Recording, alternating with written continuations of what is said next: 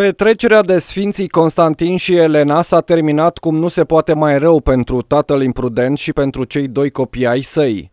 Pasagerii care călătoreau în Volkswagen povestesc că Fordul, în care erau cei trei membri ai familiei, circula haotic pe șosea, iar brusc a intrat pe contrasens și s-a izbit în Volkswagen. La fața locului au fost solicitate două ambulanțe și un echipaj smurd. Fața locului s-au găsit uh, trei persoane, un bărbat și doi copii. Uh, toate victimele, toți pacienții au fost conștienți, aduși uh, la UPU pentru investigații suplimentare.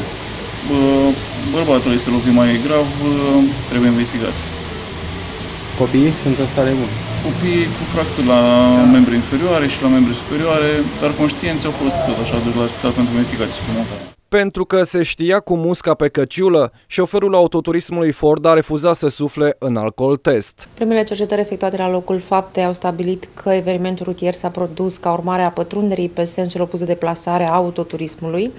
Uh, șoferul acestuia a refuzat la fața locului testarea cu aparatul etilotest, așa încât ulterior au fost recoltate probe biologice de sânge la Spitalul Județean Botoșani, urmând să se stabilească alcoolemia. La locul accidentului au ajuns și pompierii cu două autospeciale pentru a curăța zona de bucățile desprinse din cele două autoturisme. La locul intervenției am găsit uh, două autoturisme impactate, una frontal și una lateral una dintre ele era răsturnată.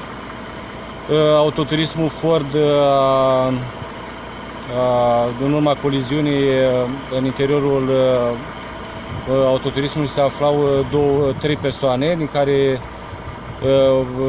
doi, doi copii și un adult. Polițiștii au deschis o anchetă, iar șoferul vinovat de producerea accidentului s-a ales cu dosar penal sub aspectul comiterei infracțiunii de vătămare corporală din culpă.